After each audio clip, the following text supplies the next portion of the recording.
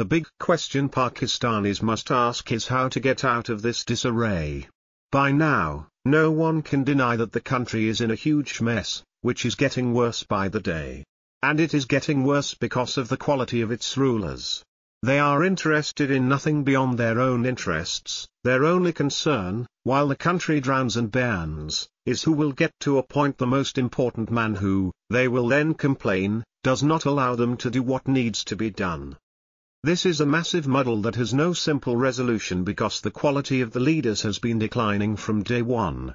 The tweets of leaders and their potential replacements are testimony to their intellectual caliber. Their vision does not extend beyond cutting ribbons at bus stations or ordering people to show up on time or delighting on being on the same page quite oblivious to what's written on it. The most important men, whoever they are or have been, are no different except that they have elevated themselves above any accountability and are unwilling to concede that their grand experiments have severely exacerbated successive crises. There is little point hoping and praying that a Saviour will descend from heaven to straighten things out.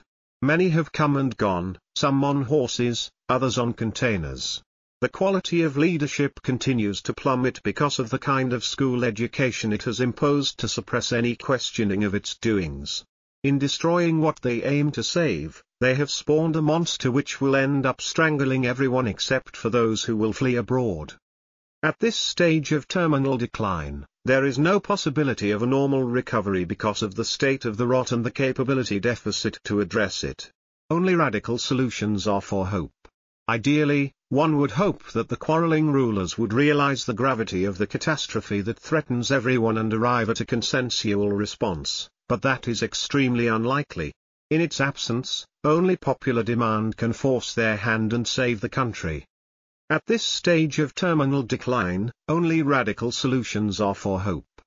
I am proposing three radical solutions, in increasing order of radicalness, not with the expectation of their immediate adoption but with the hope that they would energize a discourse that can promise possible escape from what otherwise portends to be assured death.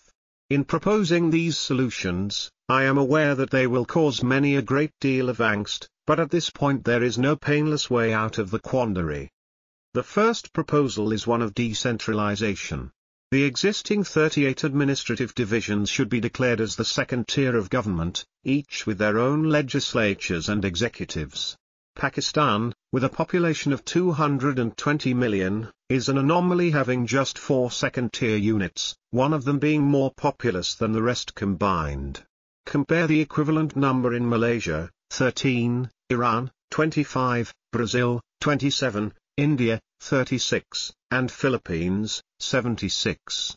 At the very least, this would divide the country's problems into manageable pieces and hopefully some set of local leaders would address them more contextually and better than others. This reorganization would also avoid the trauma of the much-needed subdivision of existing provinces that has proved beyond the emotional maturity of our leaders. The second proposal is devolution of maximum powers to the provinces and restructuring Pakistan as a loose confederation.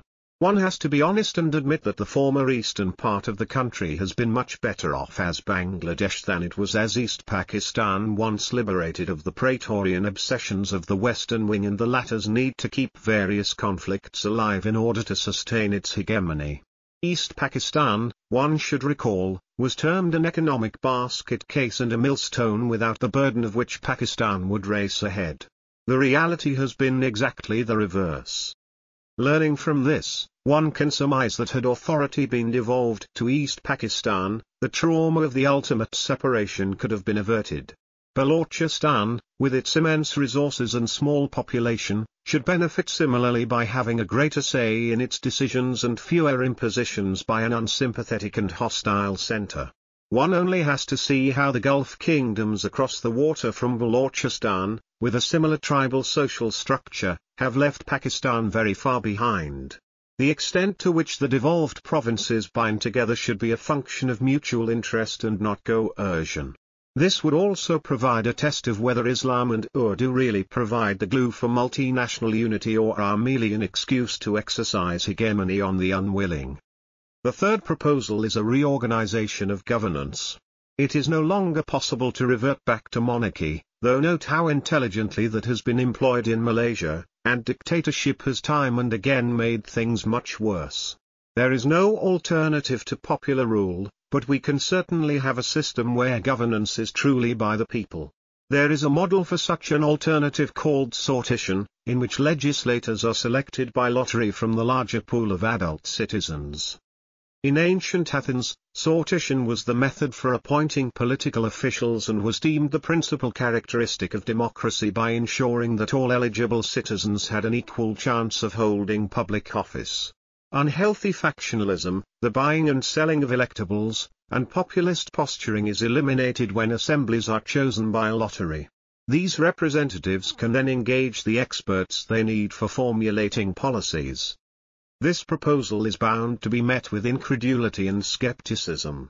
I can only point out that even today, in common law systems, sortition is used to select prospective jurors who have a say over life and death decisions. Today, it is a life and death instance for Pakistan, and citizens need to take their governance in their own hands. There is no way they can do a worse job than the motley bunch of uncaring electables and strawmen to whom they have handed over their destiny. Any extension of the status quo will reduce Pakistan to rubble. By the time the music stops, the lights will be out and there will be nothing to eat next year. The writer is the author of Thinking with Ghalib, Folio Books 2021, and Pakistan Karmat Kya, Axe Publications 2022. Published in Dawn, November 28, 2022.